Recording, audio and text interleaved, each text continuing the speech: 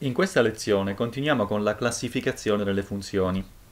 Prima di procedere è bene ricordare alcuni simboli della teoria degli insiemi che risultano particolarmente utili in questo contesto. Il primo simbolo è il seguente, una sorta di A rovesciata che va letto come per ogni o anche qualsiasi. Poi c'è un altro simbolo il simbolo di appartenenza è una sorta di E e questo vuol dire appartiene a.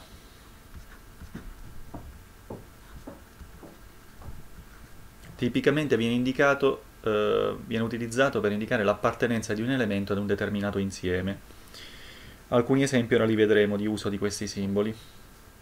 Se noi leggiamo un'espressione del tipo per ogni x appartenente ad R, questa è una scrittura simbolica per indicare che stiamo considerando un qualunque numero appartenente all'insieme dei numeri reali. Quindi per ogni x appartenente ad R o anche per ogni n appartenente ad n. Questo è un modo per indicare che stiamo considerando un qualunque numero naturale, cioè un qualunque numero appartenente all'insieme n dei numeri naturali, i numeri utilizzati per contare. Un altro simbolo che è utile ricordare è il simbolo di esistenza. È indicato con una E maiuscola rovesciata. Quindi questo simbolo viene letto come esiste. Un esempio. Dire che esiste n appartenente a n, n divisibile per 2,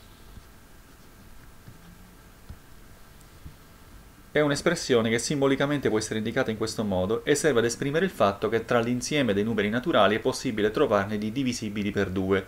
Si tratta di tutti i numeri pari. Quindi sono alcuni simboli tipicamente utilizzati nella teoria degli insiemi che, avendo a che fare con le funzioni, risultano particolarmente utili perché anche in questo caso dovremo esprimere le proprietà delle funzioni lavorando sugli insiemi su cui queste funzioni sono definite. Quindi il simbolo a rovesciata che si legge per ogni, il simbolo di appartenenza e il simbolo di esistenza. Passiamo quindi a definire le funzioni iniettive. È iniettiva una funzione che gode della seguente proprietà, quindi abbiamo una funzione f definita sull'insieme A a valori nell'insieme B. Per ora diamo la definizione facendo uso dei diagrammi di Venn, poi vediamo come esprimerla in modo simbolico facendo uso dei simboli precedentemente ricordati. Indichiamo con un diagramma l'insieme A, con un altro diagramma l'insieme B, e con la freccia al solito indichiamo la corrispondenza tra un elemento x dell'insieme A e il suo corrispondente, la sua immagine nell'insieme B, che indichiamo con la y. Bene, la funzione iniettiva quando prendendo due elementi x1 e x2 distinti nell'insieme A, le loro immagini y con 1 ed y con 2 sono anch'esse distinte. E questo qualunque sia la coppia di valori x1 e x2 che prendiamo nell'insieme A, purché x1 sia diverso da x2. Scriviamo questa proprietà in modo simbolico, dopodiché facciamo un controesempio di rappresentazione grafica di una funzione non iniettiva per capire la differenza. Quindi in modo simbolico risulta iniettiva una funzione per la quale per ogni x1, x2 appartenenti ad A, insieme dominio, con x1 diverso da x2, risulta f di x1 diverso da f di x2 o anche y con 1 diverso da y con 2. È importante il simbolo per ogni in questa espressione simbolica perché la coppia di valori di x1 e x2 non deve essere una specifica coppia, per esempio nel caso di numeri 2 e 5. Deve essere una coppia che possa essere scelta in modo assolutamente arbitrario. Ogni qualvolta si prendono due elementi del dominio diversi tra di loro, le corrispondenti immagini nell'insieme codominio nell'insieme B sono diverse fra di loro anch'esse. Non deve succedere una cosa di questo tipo. Ora faccio un esempio di diagramma di Venn di una funzione che non risulta iniettiva. Quindi abbiamo un'altra funzione g definita in A a valori in B. Tracciamo l'insieme A, tracciamo l'insieme B. Supponiamo che succeda una cosa di questo tipo. x1 e x2 sono due elementi del dominio. Le loro immagini, tramite la funzione g, sono però coincidenti. Quindi c'è un unico y che risulta immagine sia di x1 che di x2 tramite la funzione g.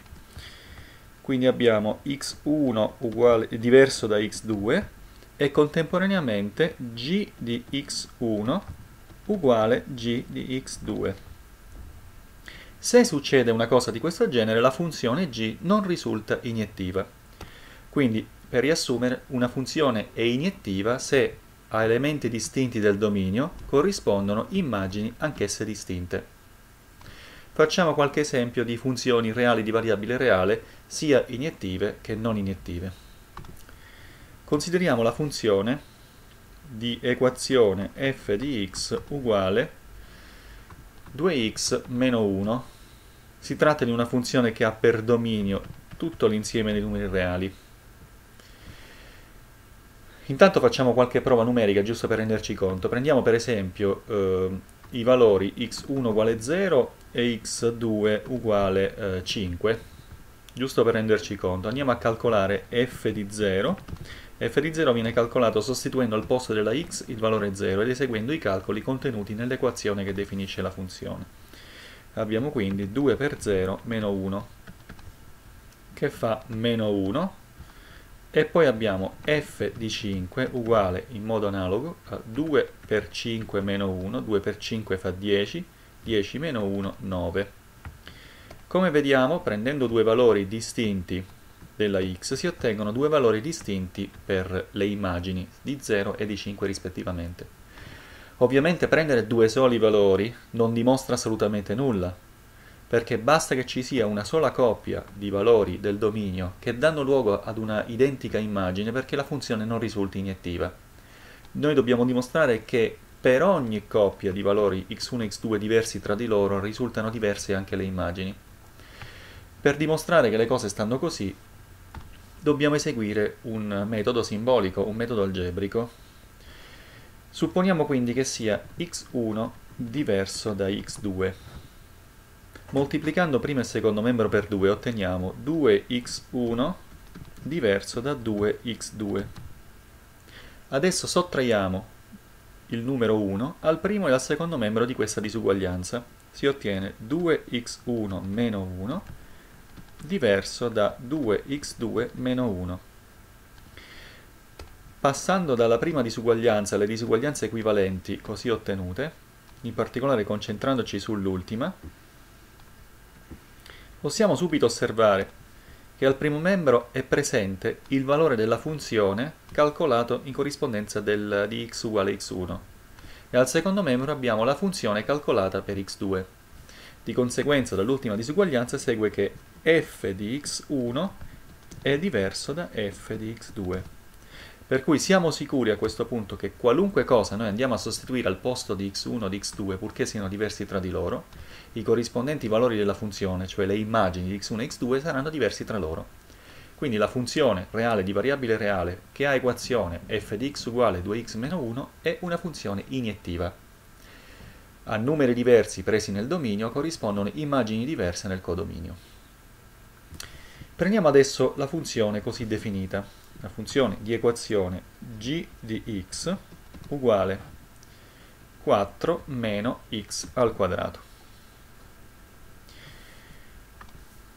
Possiamo eh, verificare se è iniettiva o no, cercando di eseguire una dimostrazione analoga a quella che abbiamo seguito poco fa per la funzione f di x. Oppure possiamo anche eh, verificare se è iniettiva o no facendo qualche prova. Supponiamo di prendere ad esempio i numeri x1 uguale 2 e il numero x2 uguale meno 2. andiamo a verificare cosa succede per le immagini di questi valori di x. g di x1 è uguale a 4 meno x1 al quadrato. Al posto di x1 mettiamo direttamente 2 e abbiamo 4 meno 2 al quadrato è uguale a 4 meno 4 e fa 0. Adesso calcoliamo la funzione g in corrispondenza di x2. 4 meno x2 al quadrato. Questo è uguale a 4 meno meno 2, stavolta abbiamo sostituito meno 2 al posto della x, ovviamente il quadrato c'è ancora, il quadrato annulla il segno meno presente accanto al 2 e quindi ci ritroviamo di nuovo con 4 meno 4 che fa 0. Come vediamo, a valori diversi di x1 e x2 possono corrispondere in questa funzione due valori identici della funzione. È chiaro che gioca un ruolo fondamentale in questo risultato la presenza del quadrato sulla x, che fa sì che prendendo due valori di x uguali in valore assoluto ma diversi nel segno, si ottengono uguali valori per la funzione. Bene, la funzione g non risulta iniettiva. Visto che, come negli esempi che abbiamo appena esaminato, è necessario poter verificare quando una funzione è iniettiva oppure no, è utile eh, specificare un altro modo di definire una funzione iniettiva. Noi finora abbiamo detto che una funzione f definita in A a valore in B è iniettiva se prendendo due valori x1 e x2 appartenenti ad A con x1 diverso da x2 risulta sempre f di x1 diverso da f di x2.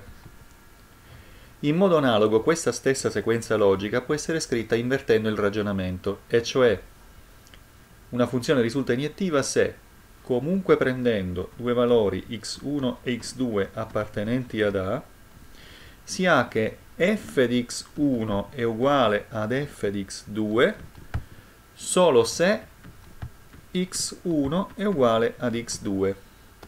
Cerchiamo di capire meglio perché queste due espressioni simboliche sostanzialmente significano la stessa cosa.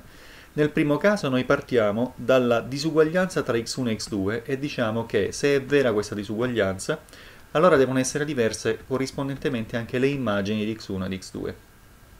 Qui invece diciamo che, presi x1 e x2 appartenenti al dominio, l'uguaglianza tra le loro immagini è consentita solo se sono uguali anche x1 e x2, cioè in sostanza se prendiamo x1 e x2 diversi tra di loro quest'uguaglianza non è ammessa, il che equivale a dire che se x1 e x2 sono diversi tra di loro, corrispondentemente anche f di x1 deve essere diverso da f di x2.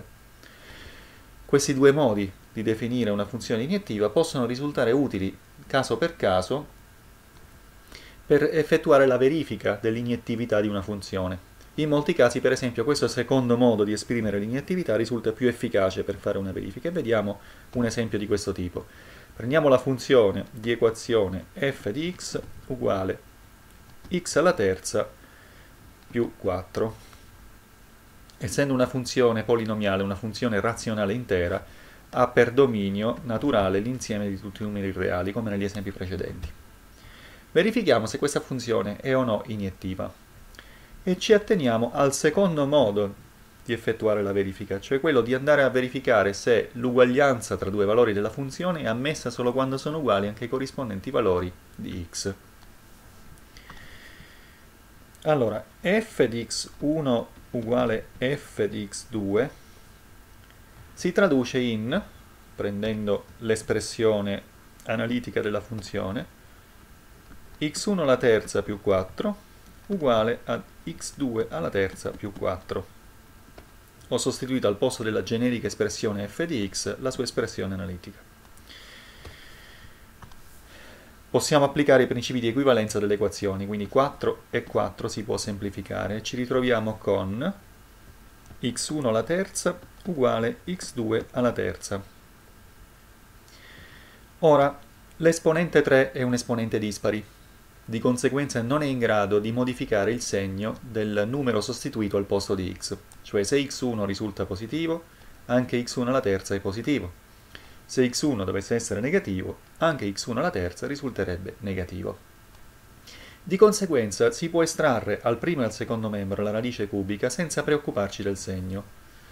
Effettuando questa radice si ottiene radice cubica uguale radice cubica, l'indice della radice e l'esponente si semplificano e quindi otteniamo x1 uguale x2. Questo significa che l'uguaglianza dei valori della funzione è consentita solo se sono uguali i valori della variabile x, della variabile indipendente. E questo significa che la funzione di equazione f di x uguale x alla terza più 4 è una funzione iniettiva.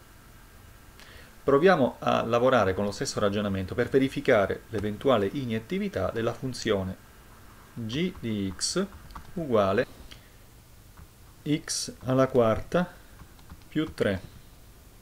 Anche questa è una funzione razionale intera, quindi ha per dominio l'insieme di tutti i numeri reali. Verifichiamo quando risulta g di x1 uguale g di x2 perché la funzione sia iniettiva, questa uguaglianza deve portare come conseguenza x1 uguale x2. Vediamo se è vero.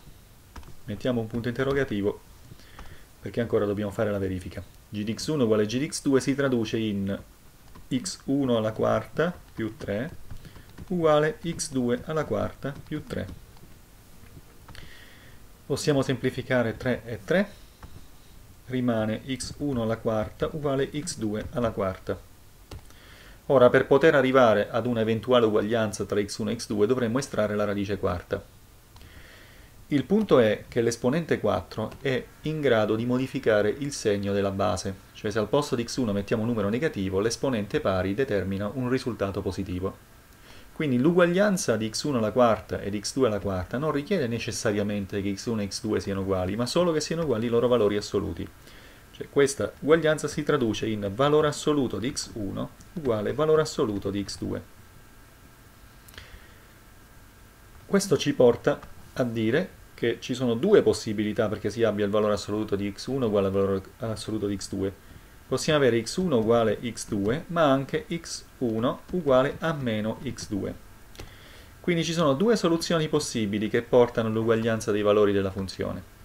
Possiamo avere x1 uguale x2 e x1 uguale all'opposto di x2, il che significa che la funzione non è iniettiva, in quanto in questo secondo caso, che è ammesso, due valori diversi della variabile indipendente portano ad uguali valori per la funzione. Nello schema dei diagrammi di Venn avremo una situazione di questo tipo. Insieme A, insieme B, che poi in realtà sono lo stesso insieme in questo caso, abbiamo x e meno x che portano ad un unico valore di y. Questo è g di x uguale g di meno x. Quindi questa funzione non è iniettiva. Occupiamoci adesso di un'altra proprietà delle funzioni. Parliamo di funzioni suriettive.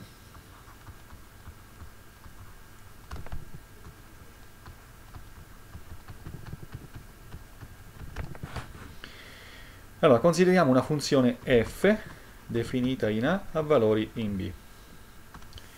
Diciamo che essa è suriettiva se ogni elemento dell'insieme B proviene da un qualche elemento dell'insieme A attraverso la funzione f. Detto in modo diverso, ogni elemento dell'insieme B ha una controimmagine nell'insieme A. Cosa vuol dire? Vediamolo di nuovo con i diagrammi di Venn.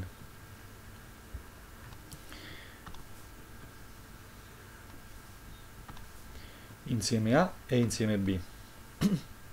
Quindi noi diciamo che la funzione è suriettiva se Scelto un qualunque elemento y appartenente a B, esiste un elemento x appartenente ad A per il quale l'immagine di x tramite la funzione f risulta proprio l'elemento y.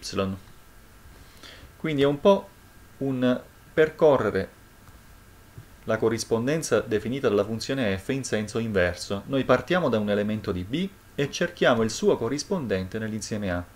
Nel definire durante la prima lezione su questo argomento le funzioni, abbiamo detto che una funzione normalmente è una corrispondenza univoca, cioè essa assicura che ad ogni elemento del dominio dell'insieme A si fa corrispondere uno ed un solo elemento nell'insieme B. Ma il codominio della funzione solitamente è un sottoinsieme dell'insieme B. Codominio. Quindi significa che se usciamo dal codominio rimanendo sempre nell'insieme B, non è affatto detto che l'elemento dell'insieme B abbia una sua eh, provenienza dall'insieme A attraverso la funzione f, non è detto che si trovi in A una controimmagine. Ricordiamoci che se f di x è l'immagine di x, x si chiama anche controimmagine di y uguale f di x. Quindi se y è immagine di x, x è controimmagine di y.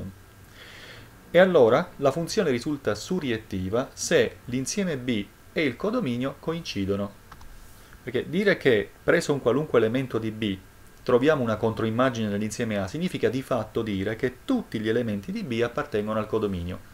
Quindi la funzione è suriettiva se il codominio della funzione, che normalmente è un sottoinsieme dell'insieme B, in realtà risulta esattamente coincidente con l'insieme B. Quindi se vale questa, la funzione è suriettiva. Vediamo qualche esempio numerico di funzioni suriettive e funzioni che non lo sono. Consideriamo la funzione f di x, aspettate lo facciamo in bianco che poi il verde ci serve per altro, f di x uguale eh, 4 più 3x. Questa è una funzione che può essere vista in questo modo, definita nell'insieme dei numeri reali, a valori nell'insieme dei numeri reali. In questo caso la funzione risulta suriettiva se il codominio della funzione coincide con l'insieme dei numeri reali, che in questo caso fa anche da insieme B. Allora, per dimostrare questo, per verificare questo, dobbiamo eh, dimostrare che per ogni y appartenente all'insieme dei numeri reali esiste x appartenente sempre all'insieme dei numeri reali tale che f di x risulta uguale ad y. Spieghiamo meglio cosa vuol dire questa sequenza logica. Vedete il simbolo di esistenza? che qui risulta indispensabile. Noi abbiamo detto che la funzione suriettiva se preso un qualunque elemento del secondo insieme, questo elemento ha una controimmagine nel primo insieme. Ricordiamoci che qui R sta facendo sia da insieme A che da insieme B. E analogamente, qui R fa da insieme B, mentre qui fa le veci dell'insieme A. Quindi questa sequenza logica significa che preso un elemento dell'insieme B, cioè l'insieme R, troviamo, esiste, significa troviamo certamente un elemento dell'insieme A, che poi è sempre R, in modo tale che la funzione calcolata in x dia come valore y. Significa che, preso un elemento di B, esiste una sua controimmagine nell'insieme A e questo deve succedere qualunque sia la scelta che si fa del, dell'elemento y appartenente all'insieme b. Quindi questo significa che il codominio della funzione dovrebbe coincidere con l'insieme R. Ma questo va verificato. Non sappiamo se questa situazione è effettivamente vera o no. Per verificarlo possiamo fare in questo modo. Al posto di f di x scriviamo direttamente y e riscriviamo l'espressione analitica della funzione 4 più 3x. Noi vogliamo vedere se, preso un y qualsiasi, esiste una controimmagine. Questa controimmagine va cercata. Se la troviamo vuol dire che y appartiene al codominio. Se non la troviamo, y non appartiene al codominio. Per cercare questa controimmagine, visto che la eh, la legge che permette di legare ad x il valore di y è di natura analitica, matematica, algebrica, possiamo certamente cercare di invertire questa eh, formula al fine di trovare per quale x si ottiene questo valore di y. Quindi praticamente utilizziamo questa come se fosse un'equazione nella variabile x avente per parametro y. Al variare di y troviamo la soluzione in x per questa equazione. Procediamo quindi. Per risolvere un'equazione come questa, che risulta essere un'equazione di primo grado nella variabile x, dobbiamo portare il termine con la variabile al primo membro e tutto il resto al secondo membro. Quindi 3x va al primo membro e cambia di segno e abbiamo meno 3x uguale 4 lo lasciamo, y passa al secondo membro e cambia di segno e abbiamo 4 meno y. Come successivo passaggio cambiamo di segno e abbiamo 3x uguale meno 4 più y. Infine dividiamo per il coefficiente della x e abbiamo x uguale meno 4 più y diviso 3.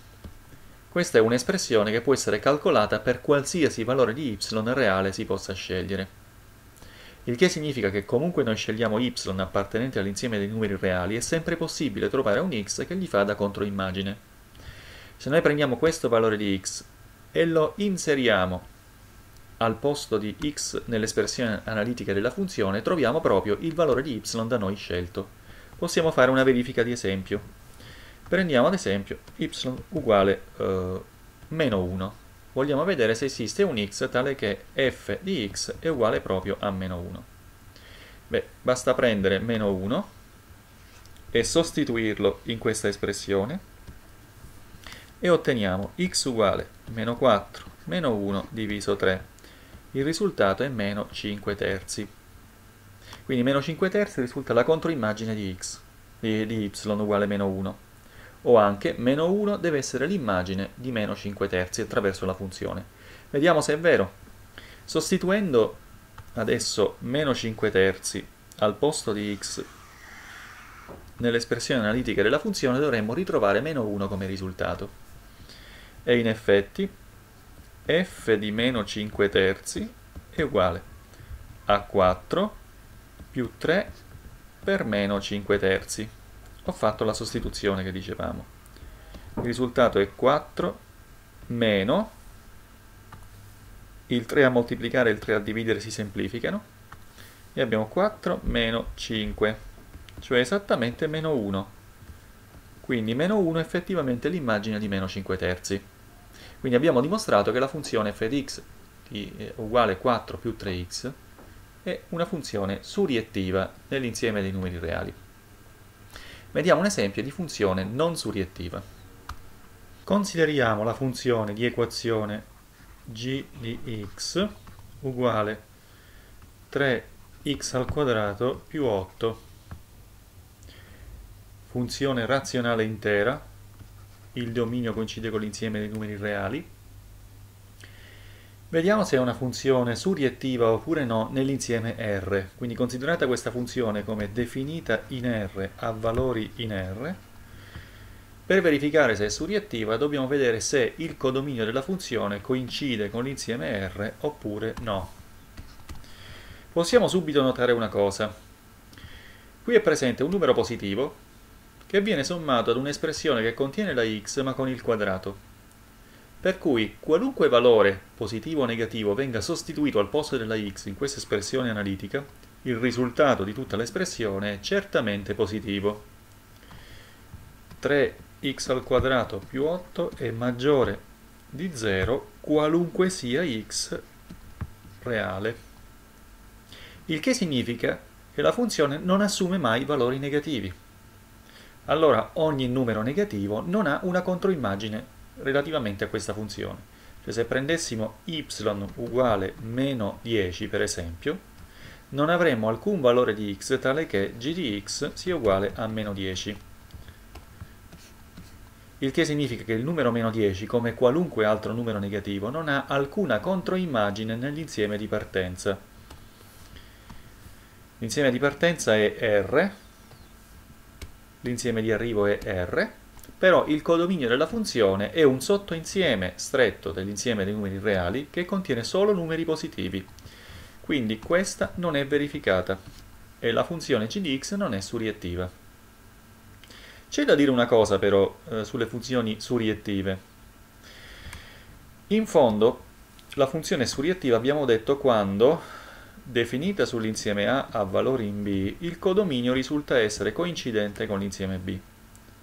Ora, quando una funzione non è suriettiva, è comunque molto facile renderla tale attraverso uno stratagemma. Ad esempio, questa funzione, sappiamo, certamente non assume mai valori negativi. Inoltre, visto che anche 3x al quadrato è sempre positivo, tutti i valori della funzione sono certamente maggiori o uguali a 8. Quindi il codominio della funzione è costituito dall'insieme dei numeri y reali che però siano maggiori o uguali a 8. Quando una funzione come questa non risulta suriettiva, in fondo è abbastanza semplice renderla tale con un piccolo stratagemma. Anziché definire la funzione dall'insieme A all'insieme B, Visto che il codominio risulta un sottoinsieme stretto dell'insieme B, si può fare in questo modo. Si definisce una nuova funzione, chiamiamola G', che sia definita nell'insieme A, ma che abbia valore nell'insieme C stesso. Cioè il secondo insieme lo prendiamo esattamente coincidente con il codominio e la funzione è definita in modo tale che G' di x sia uguale a G di x per qualsiasi valore di x appartenente al dominio. Quindi praticamente ridefiniamo la stessa funzione, solo che il secondo insieme viene sostituito direttamente con il codominio. In questo modo il codominio di questa nuova funzione coincide esattamente con il secondo insieme e la funzione risulta automaticamente suriettiva. Facciamo un esempio, nel nostro caso la funzione di equazione 3x al quadrato più 8 non è suriettiva sull'insieme R, ma se al posto dell'insieme R mettiamo l'intervallo eh, C coincidente con l'insieme dei numeri reali maggiori o uguali ad 8, la funzione definita su questo insieme risulta suriettiva, in quanto ogni valore dell'insieme C ha una controimmagine in R. Non è possibile invece rendere iniettiva una funzione che non lo è, a meno di non restringere il dominio della funzione. A questo punto diamo la definizione di funzioni biettive.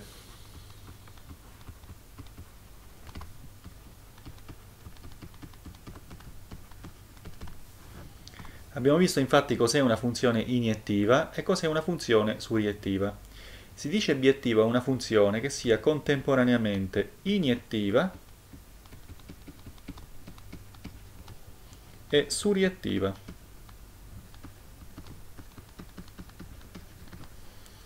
Quindi esaminate e definite le proprietà di iniettività e suriettività. Se una funzione gode di entrambe le proprietà, viene detta biettiva.